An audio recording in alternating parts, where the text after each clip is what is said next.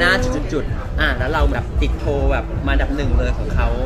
ใช่ 40 กว่าเปอร์เซ็นต์ค่ะเออ เออไปดูมาแล้ว ได้เห็นแล้วเป็นยังไงบ้างคะ ตตลกนะ อืม ก็ก็ขำเพราะมันก็ก็ก็ใหญ่จริง ๆ อะ เออแล้วก็เกินเกินความจริงเกินจริง แต่ก็มันก็มีแบบหลายอารมณ์นะแล้วก็ขำก็ขำแต่ว่าแบบตกใจแล้วก็รู้สึกว่าบางทีมันก็เป็นสิ่งที่ไม่ควรจริง ๆ แต่เราก็แบบเราก็ไม่รู้จะทำยังไงเพราะคนอื่นก็โดนไปเออเหมือนดาราโดนเยอะอย่างล่าสุดใช่น้องก้าวก็ออกมาให้สัมภาษณ์ว่าก็โดนเหมือนกันอืมเห็นเหมือนกันเออผลงานเขาว่าเป็นยังไงคะเราเราเราไปรู้ได้ไงว่าแบบว่ามันมีแบบนี้เกิดขึ้นเอารูปเราไปตัดแปะอะไรอย่างเพื่เงี้อยนเพื่อนๆแฟนคลับอะไรเงี้ยค่ะก็จะส่งมาด้วยความเป็นห่วงอะไรเงี้ยอยากให้เราแจ้งความอะไรพวกนี้สำหรับเฟิร์นเองนะคะตั้งใจถึงขนาดนั้นไหมว่า เอ้ยเอาเรื่องดีเอากเรื่ว่าองหน่อยจริง ๆ เราก็อยากแจ้งความนะ แต่ด้วยงานด้วยอะไรหลาย ๆ อย่างบางทีเวลาเรามันมีไม่เยอะอะไรอย่างเงี้ยค่ะพอเห็นแล้วมันมีความรู้สึกแบบโกรธไหมคะที่แบบเออโกรธโกรธไม่ไม่ไม่ค่อยไม่ได้โกรธไม่ถึงกับโกรธแต่ว่ามันก็จะรู้สึกแบบ มันก็รู้สึกไม่ดีมันก็แบบกระดากบ้างอายบ้างรู้สึกแย่บ้างอะไรเงี้ย แต่มันก็อีกอีกใจหนึงมันก็เออก็ตลกอะทำไปได้อะไรเงี้ยเออรู้สึกเหมือนเราโดนละเมิดไหมอะเฟิร์นแบบนี้อะไรเงี้ย ก็อาจจะไม่ได้ไปดูซ้ำๆบ่อยขนาดนั้น แต่ก็เออก็จะแบบ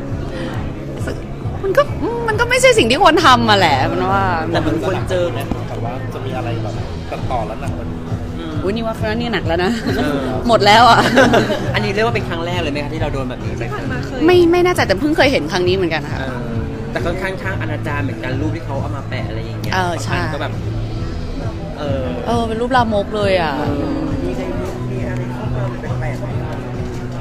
ก็จะมีบางแต่เฟิร์นอะเป็นคนเจอแบบไดเรกในไอจีแปลกๆ มาบ่อยมากอะไรเงี้ยแบบลามกเหมือนกันอาจารย์เรามีวิธีการรับมือยังไงบ้างคะเฟิร์นก็ delete หมดเลยค่ะอ่าฮะบล็อกอะไรอย่างงี้ บล็อกเรากลัวไหมพอเหมือนเขาทำอะไรอย่างงี้แล้วเราไม่ได้ดำเนินการอะไรเหมือนเขาก็จะยิ่งเหมือนแบบได้ใจทำต่ออะไรเงี้ยเพราะเหมือนเหมือนเขาก็ยังทำอยู่เลยอะไรเงี้ยก็ไม่รู้ว่าการไปพูดถึงเขาก็จะทำให้เขาแบบเป็นคนสนใจมากขึ้นไหมด้วยอะไรอย่างงี้แหละมันก็ก็ไม่รู้เราก็ไม่ไม่ไม่ได้วางแผนอะไรขนาดนั้นจริงๆเฟิร์นกลัวคนบางคนจะเชื่อหรือเปล่าว่าเป็น ไม่หรอก เพราะว่าบางบางทีหัวเล็กตัวใหญ่ บางทีหัวใหญ่ตัวเล็ก บางทีหน้าลอยอะไรอย่างงี้เออแต่อย่างเงี้ยเวลามันอย่างงี้มันจะกระทบกับเราไหมครับภาพลักษณ์ด้วยอะไรด้วยเราเป็นศิลปินนักแสดง ไม่หรอก เพราะจริงๆแล้วคนเราไม่ได้ไปสนใจดูขนาดนั้น เราอาจจะมีแค่เฉพาะกลุ่มมากกว่า ครอบครัวว่าไงบ้างคะเขาโกรธอืมแทนไหมอะ ยังไม่มีใครรู้เลยยังไม่ได้บอกเลย น่าจะรู้วันนี้แหละน่าจะเออใช่เนี่ยเต็มเลย เอาจริงๆแล้วอย่างเราอย่างเงี้ยอนาคตเราถ้ามีทำไม่หยุดเราจะแบบมีอะไรอย่างงี้ไหมคะดำเนินการก็คงนั่นแหละ ถ้าเกิดว่าไม่ไม่เลิกก็คงอาจจะดำเนินการตามกฎหมายอะไรเงี้ยแต่ก็ค่อยๆดูไปไม่ได้ซีเรียสอะไรขนาดนั้นอืมในตัวเขาเองเราคิดว่าเขาเป็นแบบยังไงครับ มีปัญหาทางจิตไหมหรือยังไงอะไรอย่างเงี้ยไม่รู้เลยอะอืมอะไม่มีใครช่วยเอาเลย เฟิร์นไม่เคยช่วยเลย เห็นว่าเพิ่งกลับจากญี่ปุ่นเที่ยวพักผ่อน อิตาลีอิตาลี ใช่ค่ะเป็นไงไปคนละคะที่เลยทริปนี้มใกล้ใกล้เคียงใกล้เคียง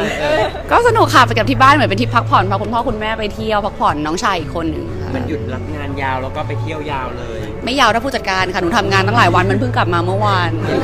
เห็นเหมือนมีการคอมเมนต์ทวงมาด้วยเนาะว่ากลับมาทำงานหน่อยอะไรไม่หน่อยกล้าไม่กล้าเลย อันนี้คือเฟิร์นเป็นสปอนเซอร์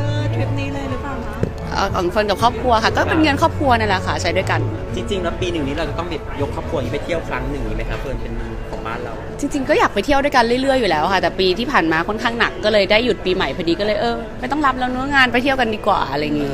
ไปอืม คนโฟกัสน้องชายเออเยอะพอสมควรยังไงคะดันเลยไหมคะในฐานะไม่รู้น้องน้องตัวนี้เหมือนจะอยากเป็นแอร์ค่ะเป็นแอร์เป็นสจวตเออเป็นจวดเอ๊ะหรือว่าน้องสาวนะยินดีด้วยค่ะ